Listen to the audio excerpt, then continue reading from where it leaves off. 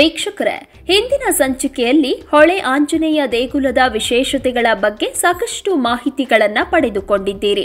ಹಾಗಾದ್ರೆ ಇಂದಿನ ಧರ್ಮ ದೇಗುಲ ದರ್ಶನ ಕಾರ್ಯಕ್ರಮದಲ್ಲಿ ಇನ್ನೊಂದು ಪವಿತ್ರ ಕ್ಷೇತ್ರದ ವಿಶೇಷತೆಗಳ ಜೊತೆ ಜೊತೆಗೆ ಆ ಕ್ಷೇತ್ರದ ಸಂಪೂರ್ಣ ಪರಿಚಯ ಮಾಡಿಕೊಳ್ಳೋಣ. ನೀವಿನ್ನೂ ನಮ್ಮ ಚಾನೆಲ್ನ ಸಬ್ಸ್ಕ್ರೈಬ್ ಮಾಡಿಲ್ಲ ಎಂದಾದ್ರೆ ಕೂಡಲೇ ನಮ್ಮ ಚಾನೆಲ್ನ ಸಬ್ಸ್ಕ್ರೈಬ್ ಮಾಡಿ ಹಾಗೂ ಬೆಲ್ ಬಟನ್ನ ಕ್ಲಿಕ್ ಮಾಡಿ. ಮನುಷ್ಯ ಯಾವುದೇ ಕೆಲಸವನ್ನ ಮಾಡಬೇಕಾದ್ರೂ ಅವನ ಆರೋಗ್ಯ ಸುಸ್ಥಿರವಾಗಿರ್ಬೇಕು. ಎಷ್ಟೇ ಸಂಪತ್ತಿದ್ರೂ ಆರೋಗ್ಯ ಭಾಗ್ಯ ಇಲ್ಲದೆ ಹೋದ್ರೆ ಮನುಷ್ಯ ಎಷ್ಟು ಗಳಿಸಿದ್ರೇನು ಪ್ರಯೋಜನ?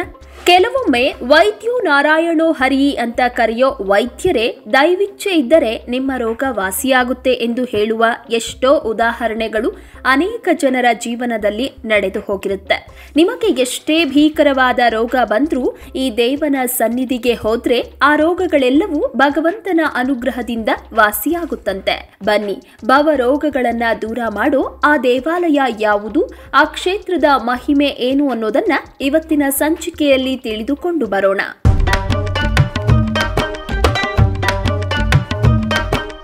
ಸುಮಾರು ಸಾವಿರ ವರ್ಷಗಳಷ್ಟು ಪುರಾತನವಾದ ಅರಿಯೂರು ದೇಗುಲದಲ್ಲಿ ಈಶ್ವರನು ವೈದ್ಯನಾಥೇಶ್ವರ ಎನ್ನುವ ಹೆಸರಿನಿಂದ ನೆಲೆ ನಿಂತಿದ್ದು, ಈ ಕ್ಷೇತ್ರದಲ್ಲಿ ನೂರಾರು ಋಷಿಗಳ ತಪಸ್ಸಿನ ಶಕ್ತಿ ಎಂದಿಗೂ ಜಾಗೃತವಾಗಿದೆ ಎಂದು ಹೇಳಲಾಗುತ್ತೆ. ಇಲ್ಲಿ ಸ್ಥಾಪಿಸಿರುವ ಜ್ಯೋತಿರ್ಲಿಂಗವು ಕಾಸ್ಮಿಕ್ ಶಕ್ತಿಯನ್ನ ಹೊಂದಿದ್ದು, ಈ ಶಿವನ ಲಿಂಗದ ದರ್ಶನ ಮಾತ್ರದಿಂದಲೇ ಏಳೇಳು ಜನ್ಮಗಳ ಪಾಪ ಪರಿಹಾರವಾಗುತ್ತೆ ಎಂದು ಹೇಳಲಾಗುತ್ತೆ. ಈ ಕ್ಷೇತ್ರಕ್ಕೆ ಹೆಚ್ಚಿನ ಸಂಖ್ಯೆಯಲ್ಲಿ ಜನರು ಬರೋಕೆ ಕಾರಣ ಇಲ್ಲಿನ ವೈದ್ಯನಾಥೇಶ್ವರ ದೇವರು. ಎಂತಹ ಮಾರಣಾಂತಿಕ ಕಾಯಿಲೆಯಿಂದ ಬಳಲಿ ಬಂದವರನ್ನು ಕೂಡ ಈ ದೇವ ಕೈ ಬಿಡದೆ ಪೊರೆಯುತ್ತಿದ್ದಾನೆ.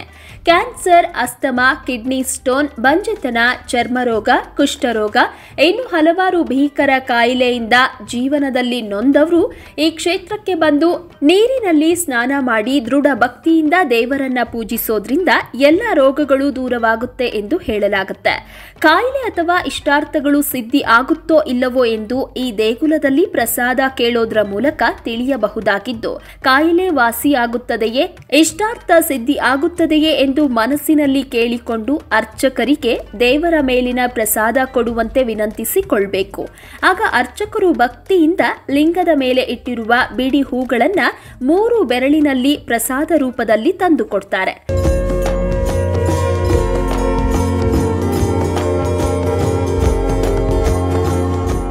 ಪ್ರಸಾದ ರೂಪದಲ್ಲಿ ಬಂದ ಹೂಗಳು ಬೆಸ ಸಂಖ್ಯೆಯಲ್ಲಿದ್ದರೆ ಕಾಯಿಲೆ ಅಥವಾ ಇಷ್ಟಾರ್ಥ ಸಿದ್ಧಿ ಆಗುತ್ತೆ ಎಂದು ಸಮ ಸಂಖ್ಯೆಯಲ್ಲಿ ಹೂಗಳು ಬಂದರೆ ಅಂದುಕೊಂಡ ಕಾರ್ಯ ಫಲಿಸೋದಿಲ್ಲ ಎಂದು ಹೇಳಲಾಗುತ್ತೆ. ಇನ್ನು ಮಕ್ಕಳಿಲ್ಲದವರು ಈ ದೇವಸ್ಥಾನಕ್ಕೆ ಬಂದು ತಲೆಯ ಮೇಲೆ ನೀರನ್ನ ಹಾಕಿಸಿಕೊಂಡು ಒದ್ದೆ ಬಟ್ಟೆಯಲ್ಲಿ ಸ್ವಾಮಿಯ ಸನ್ನಿಧಾನದ ಸುತ್ತ ಮೂರು ಪ್ರದಕ್ಷಿಣೆ ಹಾಕಬೇಕು. ಇದೇ ರೀತಿ ಒಂಬತ್ತು ವಾರ ಇಲ್ಲಿಗೆ ಬಂದು ದೇವರನ್ನ ಪ್ರದಕ್ಷಿಣೆ ಹಾಕಿ ಪೂಜಿಸೋದ್ರಿಂದ ಸುಸಂಸ್ಕೃತ ಮಕ್ಕಳನ್ನ ಪಡೆಯಬಹುದು ಎಂಬ ಪ್ರತೀತಿಯು ಈ ಕ್ಷೇತ್ರದಲ್ಲಿದ್ದು, ಹಲವಾರು ಮಂದಿ ಉತ್ತಮವಾದ ಸಂತಾನ ಭಾಗ್ಯವನ್ನ ಪಡೆದುಕೊಂಡ ಉದಾಹರಣೆಗಳು ಈ ದೇಗುಲದಲ್ಲಿ ಕಾಣಸಿಗುತ್ತೆ.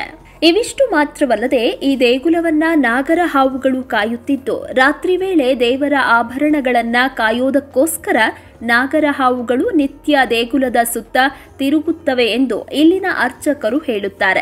ಅಲ್ಲದೆ ಯಾರಾದರೂ ದೇವರಿಗೆ ಅಶೌಚ ಮಾಡಿದ್ರೆ ಅವರಿಗೆ ಹೆಡೆಬಿಚ್ಚಿ ಶುದ್ಧಿಯಾಗಿ ದೇಗುಲಕ್ಕೆ ಬನ್ನಿ ಎಂದು ಈ ಹಾವುಗಳು ಎಚ್ಚರಿಕೆಯನ್ನ ನೀಡುತ್ತವೆ ಎನ್ನುವುದು ಇಲ್ಲಿಗೆ ಬಂದ ಅನೇಕ ಪ್ರತ್ಯಕ್ಷದರ್ಶಿಗಳ ಮಾತಾಗಿದೆ. ಭವರೋಗ ವೈದ್ಯ ಎಂದು ಕರೆಯೋ ಈ ದೇವನಿಗೆ ನಿತ್ಯ ತ್ರಿಕಾಲ ಪೂಜೆ ಮಾಡಲಾಗ್ತಾ ಇದ್ದು, ಭಾನುವಾರ, ಸೋಮವಾರ ಮತ್ತು ಅಮಾವಾಸ್ಯೆ ದಿನ ವಿಶೇಷ ಪೂಜೆಯನ್ನ ಮಾಡಲಾಗುತ್ತೆ ಆಚಾರ್ಯ ತಪ ಸಾಮ್ನಾಯ ಜಪೇನ ನಿಯಮೇನ ಚ. ಉತ್ಸವೇ ನಾನಧಾನೇನ ಕ್ಷೇತ್ರ ವೃದ್ಧಿಸ್ತು ಪಂಚದ ಎನ್ನುವ ಶ್ಲೋಕದ ಅನುಸಾರವಾಗಿ ಇಲ್ಲಿ ನಿತ್ಯ ದೇವರಿಗೆ ಪಂಚ ಕಾರ್ಯಗಳನ್ನ ವಿಧಿವತ್ತಾಗಿ ನಡೆಸಲಾಗ್ತಾ ಇದ್ದು, ಪ್ರತಿ ವರ್ಷ ಶಿವರಾತ್ರಿಯಂದು ದೇವರ ರಥೋತ್ಸವ ಕಾರ್ಯಕ್ರಮವನ್ನ ಕೂಡ ಆಚರಿಸಲಾಗುತ್ತೆ. ಈ ದೇಗುಲಕ್ಕೆ ಭೇಟಿ ನೀಡುವ ಪ್ರತಿ ಭಕ್ತಾದಿಗಳಿಗೂ ಅನ್ನದಾಸೋಹದ ವ್ಯವಸ್ಥೆ ಇದೆ. ಅತ್ಯಂತ ಶಕ್ತಿಶಾಲಿಯಾದ ಈ ದೇವನನ್ನ ಬೆಳಗ್ಗೆ ಆರು ಗಂಟೆಯಿಂದ ಸಂಜೆ ಏಳು ಗಂಟೆಯವರೆಗೆ ದರ್ಶನ ಮಾಡಬಹುದಾಗಿದ್ದು, ಇಲ್ಲಿಗೆ ಬರುವ ಭಕ್ತಾದಿಗಳು ದೇವರಿಗೆ ರುದ್ರಾಭಿಷೇಕ, ಮೃತ್ಯುಂಜಯ ಹವನ, ಬಿಲ್ವಾರ್ಚನೆ, ಅಭಿಷೇಕ ಸೇವೆ, ಅಲಂಕಾರ ಸೇವೆ, ಇನ್ನು ಮುಂತಾದ ಸೇವೆಗಳನ್ನ ಮಾಡಿಸಬಹುದಾಗಿದೆ. ಈ ಪುಣ್ಯ ಕ್ಷೇತ್ರವು ತುಮಕೂರು ಜಿಲ್ಲೆಯ ಅರೆಯೂರು ಎಂಬ ಗ್ರಾಮದಲ್ಲಿದ್ದು, ಈ ದಿವ್ಯ ದೇಗುಲವು ಬೆಂಗಳೂರಿನಿಂದ ಎಂಬತ್ತೇಳು ಕಿಲೋಮೀಟರ್, ಹುಬ್ಬಳ್ಳಿಯಿಂದ ಮುನ್ನೂರ ಅರವತ್ತು ಕಿಲೋಮೀಟರ್, ಶಿವಮೊಗ್ಗದಿಂದ ನೂರ ತೊಂಬತ್ತೆಂಟು ಕಿಲೋಮೀಟರ್, ಹಾಸನದಿಂದ ನೂರ ನಲವತ್ತೆಂಟು ಕಿಲೋಮೀಟರ್, ಮೈಸೂರಿನಿಂದ ನೂರ ನಲವತ್ತೊಂಬತ್ತು ಕಿಲೋಮೀಟರ್, ತುಮಕೂರಿನಿಂದ ಇಪ್ಪತ್ತು ಕಿಲೋಮೀಟರ್ ದೂರದಲ್ಲಿದೆ.